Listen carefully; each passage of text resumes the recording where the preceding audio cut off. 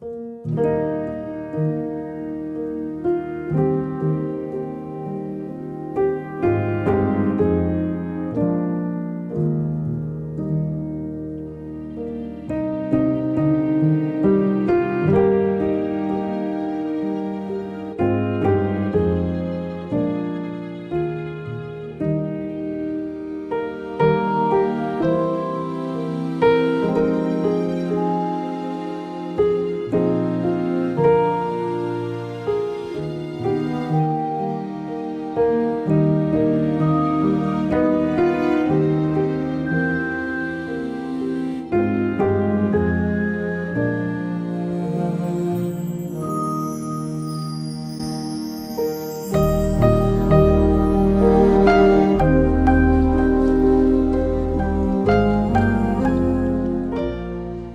dobry, witajcie w święta.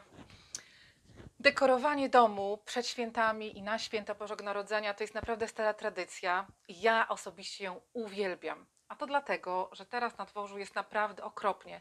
Jak nie śnieg, to deszcz, jak nie wichura, to jest po prostu strasznie zimno.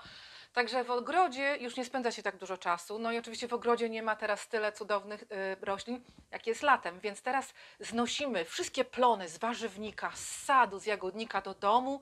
Przygotowujemy pyszne posiłki e, na święta. No i przynosimy cokolwiek się da z ogrodu. A akurat tak się składa, że teraz e, o tej porze roku to cokolwiek to są e, gałązki, które są nadal zimozielone. To w Polsce wiadomo, to są choinki różne, e, świerki, jałowce, sosny, jodły, nie wiem, chyba nie mówiłam jeszcze jodły. E, również tutaj i w Anglii, i w Polsce tradycyjnie ostrokrzew, który jest bardzo ostry, więc trudno cokolwiek z nim zrobić, ale jakoś się da.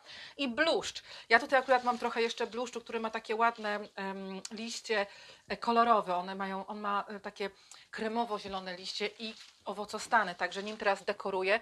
Ale tak jak mówię, od przynajmniej dwóch tygodni staramy się udekorować dom, żeby było po prostu przyjemnie, żeby było ładnie.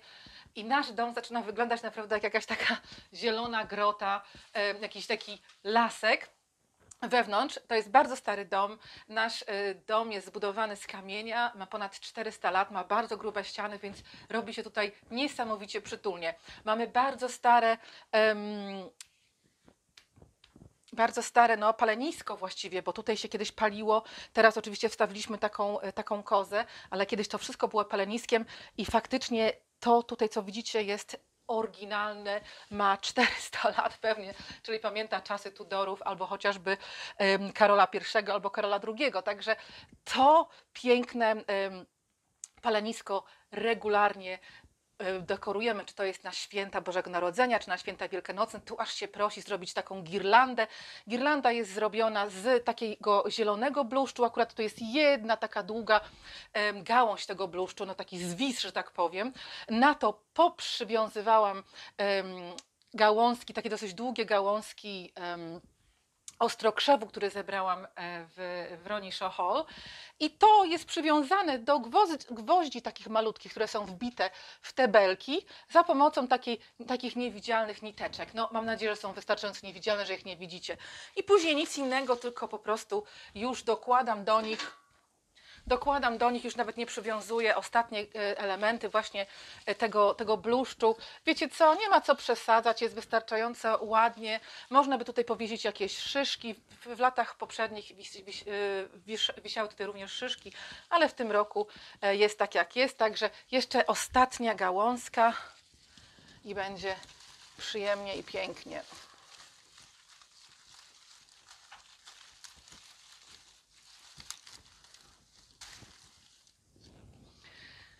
Także w pozostałych częściach całego domu też są takie elementy zimozielone. Nad, nad wszystkimi lampami rozkładamy, rozwieszamy gałązki ostrokrzewu. Tutaj jeszcze jest taka aranżacja, którą zrobiłam w zeszłym tygodniu. To pokazywałam Wam na Instagramie i na Facebooku, jak ją robiłam, bo to były pozostałości z tego, z czego robiłam wianek na drzwi. A wianek na drzwi to oglądaliście w ostatnim, e, w ostatnim odcinku, jak robiłam i wisi on na drzwiach, ale jest tak okropnie zimno, że wolę tam nie wychodzić na zewnątrz. Także mamy aranżację tu, na ścianie, na suficie.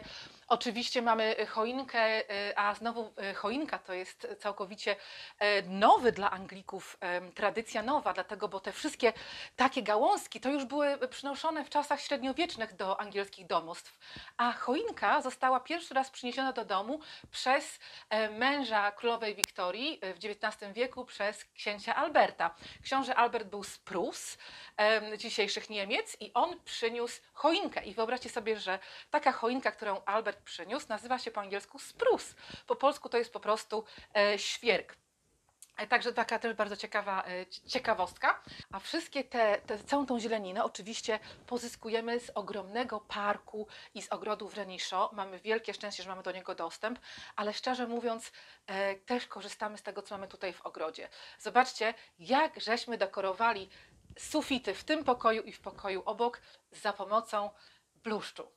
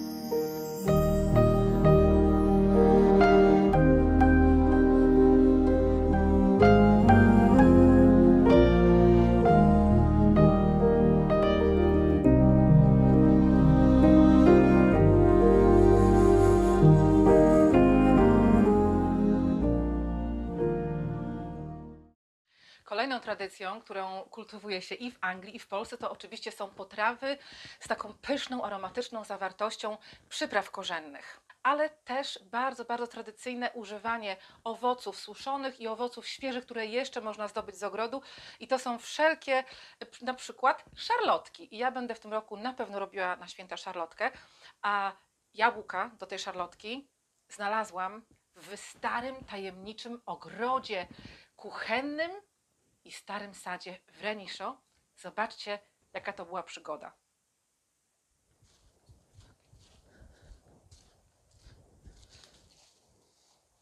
Ogród i park w Reniszo e, teraz podczas świąt nie tylko pomagają mi w zbieraniu ładnych liści czy kwiatów, e, czy takich zasuszonych kwiatostanów do moich e, dekoracji świątecznych, ale też znalazłam tutaj takie sekretne miejsce, o którym chyba tak naprawdę nikt nie wie, w którym są przepyszne jabłka. I teraz przed świętami jeszcze zbieram jabłka, e, zrobię z nich podczas świąt szarlotki i też na pewno wiele z nich pójdzie do słoików na szarlotki i na e, mus do na przykład do naleśników na później. Ale zobaczcie, tutaj z tej strony jest e, pole, tam dalej jest duży staw, ale z tej strony jest całkowita dzikość. Ale wyobraźcie sobie, że ta dzikość nie była taka zawsze. I to jest bardzo, bardzo ciekawa historia. Tutaj jest stary ogród kuchenny. Wyobraźcie sobie, w miejscu, gdzie teraz stoję, był mur i z tej strony był właśnie piękny ogród kuchenny, dlatego, bo em, no wiecie jak to jest, tutaj w tym domu, y, w- tutaj w tej posiadłości ludzie mieszkają od Wiecie co? Pierwszy ogród tutaj wspominany jest w XIII wieku. To jest 800 lat temu. Później już pierwsze plany tego ogrodu, całego ogrodu i parku już są w XV wieku, a wiemy, że w 1640 zbudowano już ten dom, który dzisiaj widzicie i właśnie ogrody. I tutaj od na pewno już XVII wieku był ogród kuchenny w tej części, e, w tej części parku, bo jesteśmy troszkę oddaleni od domu, już nie może powiedzieć że to jest ogród. Także tutaj był ten ogród kuchenny i e, później on miał swoją świetność e, w latach 1800 do 1850. Dlatego, bo wtedy już przywożono oczywiście do Anglii różne ciekawe gatunki, różne nasiona, więc w tym ogrodzie kuchennym dużo, dużo się działo. Na murach rosły owocowe drzewa i krzewy. E, W szklarniach i w oranżerii na pewno były e, jakieś takie drzewa bardziej e, egzotyczne. Może nawet uprawiano e, tutaj gdzieś ananasy, bo było to bardzo popularne w czasach wiktoriańskich. Ale słuchajcie, w latach 1840 ówczesny właściciel niestety, ale zbankrutował. Dlatego, bo pomimo tego, że oni mieli jakieś pieniądze z, e, z kopalń, no bo tak jak Wam mówiłam, tutaj wszędzie dookoła były kopalnie i z tego mieli pieniążki, ale po pierwsze troszkę żył frywolnie za bardzo, więc te pieniążki bardzo, bardzo dobrze roz, e, no, wydawał. E, Po drugie miał e, ogromnego pecha, bo bank, w którym on złożył dosłownie dzień wcześniej ileś tam tysięcy funtów, w dawnych czasach tysiące funtów to były bardzo duże ilości pieniędzy. Niestety dosłownie parę dni później ten bank zbankrutował. To był chyba Sheffield Land Bank, tak się nazywał. I jeszcze w dodatku się okazało, że bardzo dobrze zaprzyjaźniony z rodziną e, prawnik oszukał ich na 35 tysięcy funtów, co w tamtych czasach było naprawdę dużo. W związku z tym w, latach, e, w latach 1840 tutaj za mną już właśnie ten ogród kuchenny przestał e, mieć swoją świetność, ponieważ rodzina się musiała z Reniszo wyprowadzić i tutaj zaczęło się, no niestety, zaczął się koniec tego ogrodu kuchennego. Tutaj zaczął on podupadać e, i zobaczycie za chwileczkę, ja e, tutaj właśnie Wam pokażę, gdzie odkryłam fantastyczne jabłonie, bo z tej strony ogrodu był faktycznie ogród kuchenny, w którym uprawiano warzywa, owoce, a na dole, z tej strony, tam gdzie zaraz pójdę, są piękne stare jabłonie. Także słuchajcie, no lata 1800, 850, te jabłonie będą miały już, słuchajcie, tak no grubo ponad 100 lat, 150 lat. To jest niesamowite. One są ogromne. Jabłka są przepyszne, są chrupkie e, i będą właśnie fantastyczne do szarlotek, bo to są takie duże, zielone jabłka. Ale zobacz, jaka to jest e, ciekawa historia. Tak naprawdę ludzie, którzy przychodzą do Reniszo i idą tutaj, spacerują, to nawet nie wiedzą, że chodzą dookoła starego ogrodu kuchennego. Ale oczywiście ja wyszperałam różne informacje, różne mapki e, i z tego teraz już wiem dokładnie, co gdzie było. Także teraz idziemy dokładnie e, właśnie w dół, dlatego, bo ten ogród jest pięknie rozparcelowany na, tak jak zawsze opowiadam, że ogród kuchenny powinien być na zboczu, który lekko schodzi w stronę południową. Tak, także tutaj jest południe, tam jest północ i tutaj był ten ogród i na samym dole tego ogrodu właśnie był sad. Także my idziemy teraz linią e, muru do sadu po jabłka. Nie będzie to łatwe, dlatego, bo tam naprawdę trzeba się prze, e, przebić przez różne, no jak tutaj widzicie, haszcze, ale warto. Także mam koszyk i idę sobie po pyszne, stare jabłka.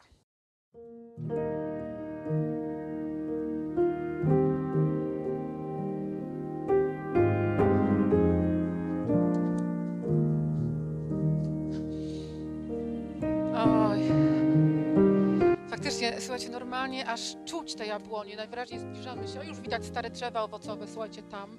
No wi widać, że nikt ich dawno już nie, nie przycinał, pewnie ze 100 lat, ogromne. Także tutaj na pewno już są też jabłka, które wcześniej pospadały z jabłoni. To są takie jabłka niekoniecznie do gotowania, tylko do jedzenia wprost. I one teraz na pewno leżą tam na ziemi, gdzie ja się nie mogę prze, przedrzeć, chociaż chciałabym się w przyszłości tam kiedyś przedrzeć i zobaczyć, co tam ciekawego jeszcze przed nami e, czas e, ukrył w tych chaszczach. Ale te jabłka chyba się rozkładają, bo tak bardzo mocno pachnie jabłkami. Bardzo smacznie pachnie, e, ale to już nie są jabłka, które my dzisiaj zbierzemy do gotowania. Zobaczcie, tutaj jest kawałek starego muru. E, ogólnie mur, e, pierwszy mur, który tutaj był w 1600 latach, 1700 latach, był niższy. Potem pod koniec e, 1700 lat i w lat- w latach 1800 ten mur był podwyższony i na górze położono na nim takie duże kamienne czapki. E, Teraz te kamienne czapki są wykorzystane w, e, w ogrodzie e, tak zwanym wodnym, dookoła takiego e, kanału wodnego, w którym sobie pływają karpie i teraz właśnie to jest e, wykorzystane, te czapki kamienne, żeby położyć je tak jakby krawędź dookoła tego, tego kanału. Także dużo materiałów z tego starego ogrodu potem zostało wykorzystane w, w kolejnych latach, ale tutaj po prostu jakby, jakby no, jak dla mnie to jest skarb, słuchajcie. Ja tutaj nie wiem, mam nadzieję, że będę miał jakieś więcej czasu, chociaż to się nigdy nie zdarzy, ale marzy mi się właśnie, żeby, przyjść, wdrapać się w te wszystkie haszcze i zobaczyć, co ciekawego tam jeszcze e, jest. Także tutaj mniej więcej, jak widzicie, ten mur sobie, sobie leci. Tutaj jest żywopłot z głogu jednoszyjkowego, który został też położony, tak jak to w Anglii tradycyjnie e, się robi. No ale tak jak mówię, niewiele osób, które tu przychodzi, chyba wie, że tutaj kiedyś był stary ogród kuche- kuchenny.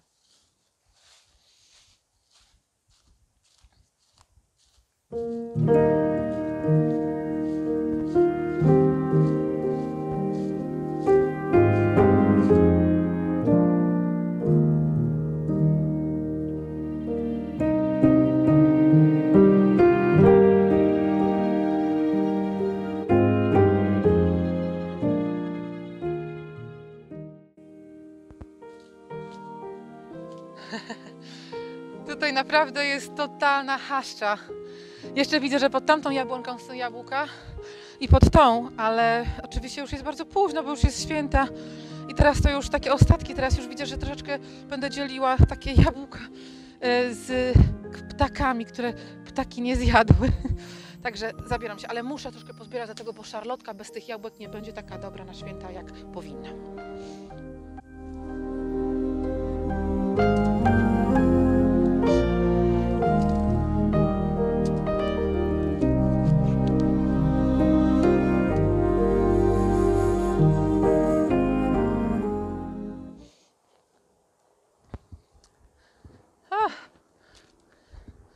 Słuchajcie, jak każdy dobrze szanujący się ogród kuchenny, również tutaj była oranżeria i y, no, mur, tak? Przede wszystkim mur, to jest bardzo ważny.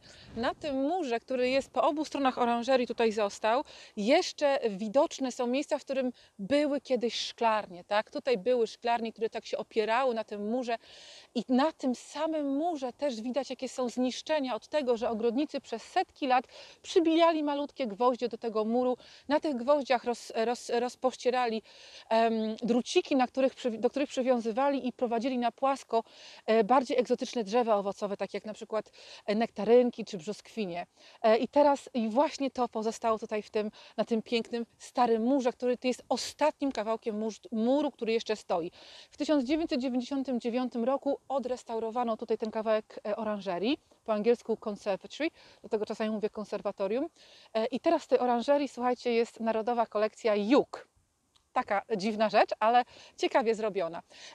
Dzięki temu, że tutaj jest ten kawałek muru, to ja mogę się zorientować troszeczkę, gdzie my jesteśmy na tym starym planie. Tu jest bardzo stary plan sprzed 1850 roku, czyli tak jak mówiłam Wam, 1840-1850 to jest wtedy, kiedy ten ogród popada w zapomnienie. I zobaczcie, tutaj na tym, na tym planie jest właśnie e, pokazane, to, to nie jest jakiś tam super plan, ale widać o co chodzi. Tutaj właśnie jest oranżeria, przy której ja stoję, tutaj na środeczku. Tu na dole są, jest sad. Ta cała część to jest sad. Tutaj byliśmy przed chwileczką po jabłka, a tutaj była ta część bardziej warzywna. Kolejny mur tutaj był i szklarnie, dlatego, bo ten mur I ten na dole oczywiście był wystawiony na stronę południową, więc oczywiście był bardzo cieplutki i tam na tym murze można było uprawiać e, właśnie jakieś drzewa albo krzewy owocowe, więc to jest zawsze e, taka zaleta. No ale niestety, słuchajcie, 1840-1850 właściciel nie ma forsy, zamyka ogród, zamyka dom do tego stopnia, że wystawia dom z całą zawartością na sprzedaż. Słuchajcie, wszystko jest na sprzedaż na aukcji, ale nikt nie chce kupić tego domu. E, Ale kupują wszystko niestety ze środka. Dlatego to wszystko, co teraz jest w tym domu, było odnalezione przez, e, przez właścicieli, którzy cały czas, to jest cały czas ta sama rodzina Sitwellów, ale musieli przez lata odnajdywać te stare rzeczy, które były wysprzedane w, 1900, w 1850 i jakby odzyskiwać kolekcję rodzinną. Ale nie jest tak źle. I to jest fajna opowieść właśnie na święta Bożego Narodzenia, bo to się, to opowieść się dobrze kończy. Słuchajcie, w 1900 roku okazuje się, że na terenie tego ogrodu, tutaj tego parku, bardziej na południową stronę, w tą stronę, jest bardzo bogate złoże węgla, bo tutaj w ogóle wszędzie jest dużo węgla, dlatego tutaj jest y, dużo kopalń, było dużo kopalń. No i rodzina znowu się wzbogaca. Wzbogaca się z pieniążków z węgla, może kupować nieruchomości, y, inwestować w wartościowe papiery. Bardzo dużo zarabiają w tym czasie na giełdzie papierów wartościowych, także idą ich notowania bardzo do góry. I właściciel, y, Sir George, który jest em, baronem tutaj tego Renishaw, może sobie pozwolić na to, żeby odbudować ogród. Ale ten ogród już odbudowywuje w innym miejscu, dlatego, bo ta część, tak jak Wam mówiłam, to jest blisko kopalni. Tutaj właściciele, ówcześni właściciele opisują, że jak chodzą po ogrodzie w tej części, to są cali ubrudzeni od tego takiego osadu, jak to jest przy kopalniach, od węgla, od, no, od, od tego całego w dzisiejszych czasach nie wiemy w ogóle, jak to było, ale w tamtych czasach to był ogromny smog, to było straszne zanieczyszczenie powietrza. Także ta część ogrodu parku nie jest przyjemna na tyle, żeby tutaj można było uprawiać warzywa, no bo przecież ten cały syf czarny z węgla będzie na warzywach. W związku z tym Sir George znajduje nowe miejsce e, na terenie posiadłości Renishaw, a to miejsce to jest nic innego jak padok po ulubionym koniu innego słynnego właściciela tutaj tego Renishaw, który nazywał się Sitwell. Sitwell, który w 1800 roku 50 lat wcześniej, zanim ten ogród podupadł, wybudował nowe części tego, tego domu i nowe e, części ogrodu. Był takim też bardzo obrotnym człowiekiem i on miał swojego ulubionego konia, który nazywał się Klinker i dla tego Klinkera był ulubiony padok. A w związku z tym, że z tego padoku już George w ogóle nie korzystał, to na terenie tego padoku zbudował nowy ogród kuchenny w roku 1911. I właśnie teraz tam Was zapraszam.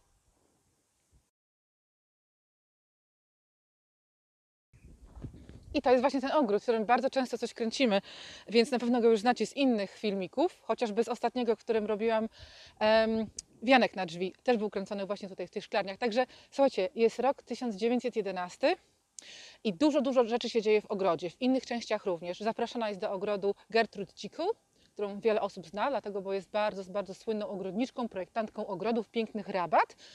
E, I też ktoś, nie wiadomo kto, ale ktoś tutaj projektuje George'owi ten ogród na terenie starego padoku.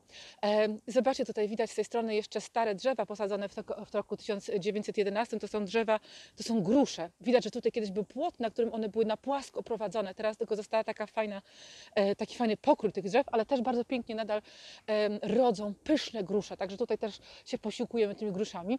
E, Tutaj z tej strony, koło padoku, który w tym czasie, już w roku 1911 był ogrodem warzywnym, po tej stronie zo- został zbudowany dom dla głównego ogrodnika. Tam teraz mieszka e, farmer, który tutaj obrabia dużą, dużą część posiadłości, jeżeli chodzi o takie rzeczy jak pola, też ma krowy, te krowy tutaj się pasą przy, e, przy ogrodzie. Także e, tutaj jest piękny ogród kuchenny, bardzo dobrze pracujący. Lata 20, lata 30, tutaj e, rodzina mieszka na miejscu, mają fundusze, mają pieniądze, dobrze żyją, mają gości, przyjeżdża dużo osób, mają zawsze pełno pysznego jedzenia z ogrodu warzywnego, owoce. Słuchajcie, nadchodzi e, i pierwsza, i druga wojna światowa. Oczywiście każda z kolejnych wojen światowych zmienia, y, zmienia świat i zabiera ogrodników, i zabiera ludzi, którzy w ogóle pracują w służbie. Ale ogród kuchenny cały czas jest bardzo ważny, dlatego bo podczas i pierwszej, i drugiej wojny zapewnia im bardzo wartościowe jedzenie, tak? A podczas y, wojny y, w Anglii z jedzeniem, zresztą tak jak i wszędzie indziej, było dosyć kiepsko.